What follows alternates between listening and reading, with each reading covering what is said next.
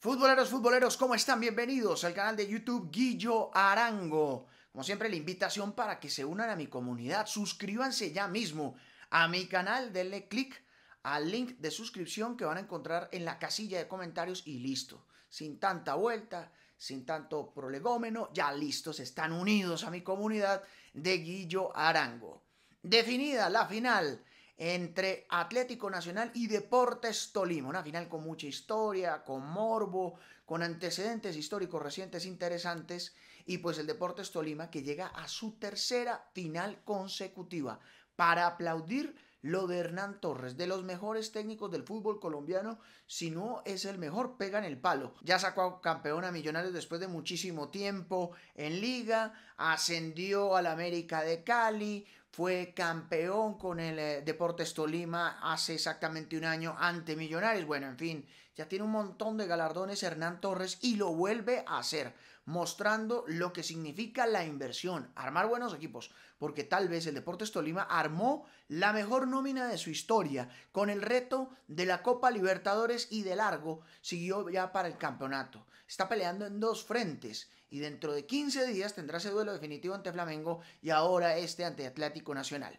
Primero, el partido se va a disputar en Medellín, aún no se sabe el calendario, seguramente será el miércoles y el cierre será en el Manuel Murillo Toro de Ibagué el sábado o el domingo, están por definir eso, precisamente porque después de la final, el 25 o el 26, el Tolima, el 29, jugará ante Flamengo en Copa Libertadores. Así que pues eso falta por definir. Un regreso ilustre, el que se dio hoy para el Deportes Tolima, el de Sergio Mosquera, defensor central. Sí que ha tenido problemas el Deportes Tolima este semestre. Primero, Eduard Caicedo, que se lesionó, Moya, que ha tenido problemas, Julián Quiñones también lesionado, y pues para mí uno de los mejores centrales del fútbol colombiano, Sergio Mosquera, que fue fundamental en todo el año 2021, pues ha tenido diversos problemas de lesiones. Este es su sexto partido este año, muy poco, porque se le ha pasado más en la enfermería. Regresa y regresa con gol. En un partido complicadísimo ante Envigado,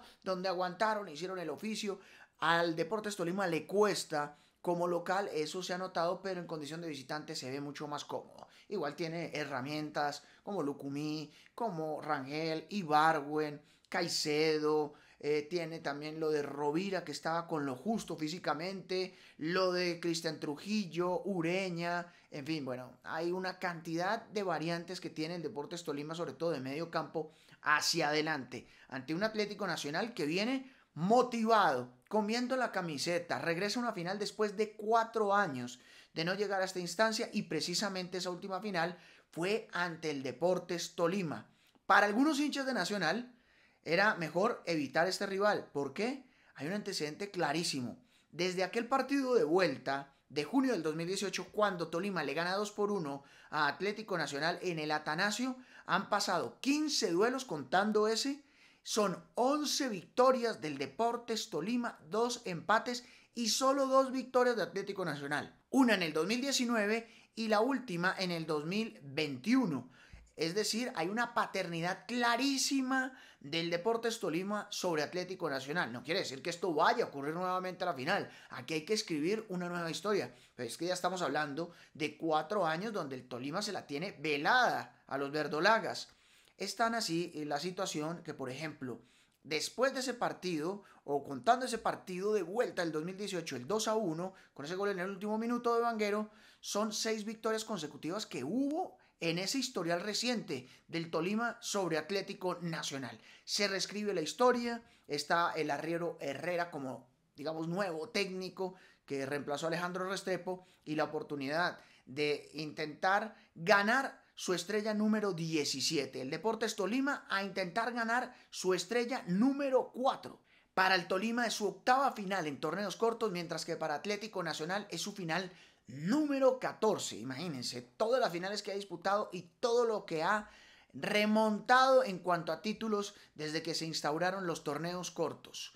Será un duelo muy interesante entre dos estilos que a veces pueden ser similares el de aguardar y el de transiciones rápidas, tal vez teniendo un poco más la iniciativa Atlético Nacional, en especial cuando juega en el Atanasio, con un repertorio donde está Harlan, Dorlan, Andrade, Gio Moreno no va a poder jugar el primer partido, el de ida, pero hay que incluirlo para el de vuelta. Duque, Mantilla, en fin. Así como hablamos del Tolima y hablamos de Atlético Nacional, son nóminas amplias, son nóminas donde se invirtió y bueno, por eso están acá en la final del fútbol colombiano.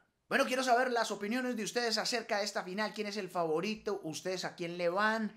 ¿Qué creen que va a pasar en estos partidos? ¿Creen que tal vez le pueda costar al Tolima cerrar precisamente en condición de local como pasó ante el Deportivo Cali, donde esa presión, a veces esa atmósfera del Manuel Murillo Toro no le conviene tanto o no se sienten tan cómodos cuando juegan en condición de visitante y eso lo ha demostrado en la Copa Libertadores. ¿Creen que eso puede afectar o por el contrario esto es de paternidad y el Tolima va a ser una vez más campeón ante Atlético Nacional. Vamos a ver, ¿no? Aquí puede pasar cualquier cosa. Quiero sus opiniones en la casilla de comentarios también.